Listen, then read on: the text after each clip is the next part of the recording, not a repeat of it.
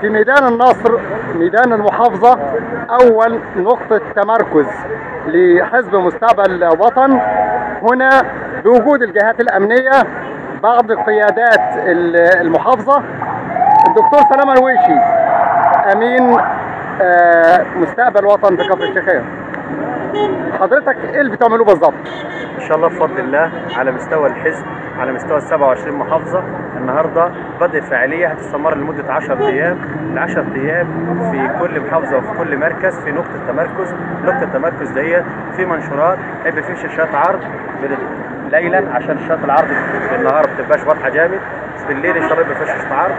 بالنهار إحنا بنوزع منشورات على الناس المرة كلها. وبنقول لهم إحنا عايزينكم إن شاء الله تتعبوا شوية عشان بلدكم عشان ولادكم عشان نفسيكم. تنزلوا إن شاء الله بفضل الله يوم 26 ويوم 27 ويوم 28 نزولكم ده بيقول للعالم كله إن إحنا حزب مستقبل وطن محتاجينكم كلكم ومحتاجين الناس كلها عشان الرأي العام وعشان الدول كلها تعرف إن إحنا عايزين بلدنا وعايزين الرئيس السيسي قائد لنا لفتره رئاسة ثانية. أستاذ صلاح عثمان وكيل وزارة والتعليم كفر الشيخ دايما التربية والتعليم وحضرتك بتحرص على التواجد في كل الحملات مش مرتبط بحملة معينة.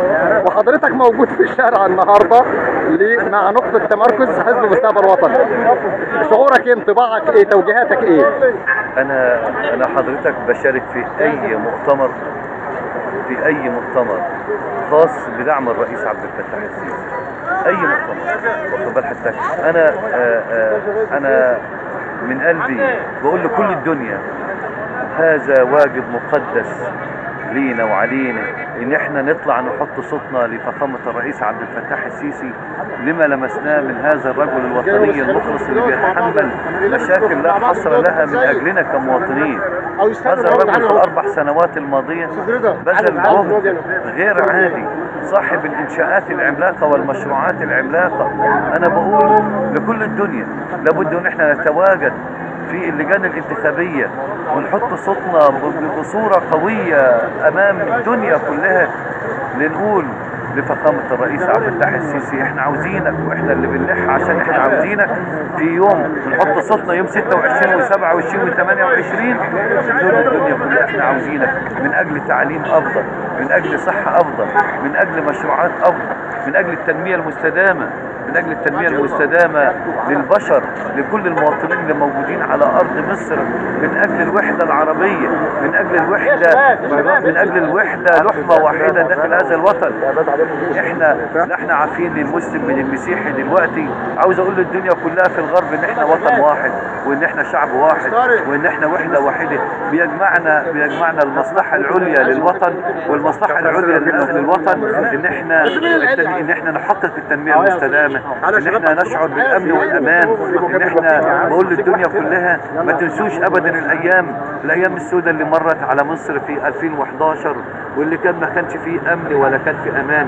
لا حد بيأمن على زوجته ولا بيأمن على أولاده ولا بيأمن على مستقبله. بقول للدنيا كلها آه، شوفوا شوفوا شوفوا ما حصل بالنسبة للاقتصاد القومي بالنسبة للاقتصاد الاقتصاد بالنسبة للاقتصاد. كان معدل كل الحملات مع بعض. المركزي كان كان 12 مليون وارتفع ل 16 مليون. دلوقتي اقترب من ما يقرب من 40 مليار.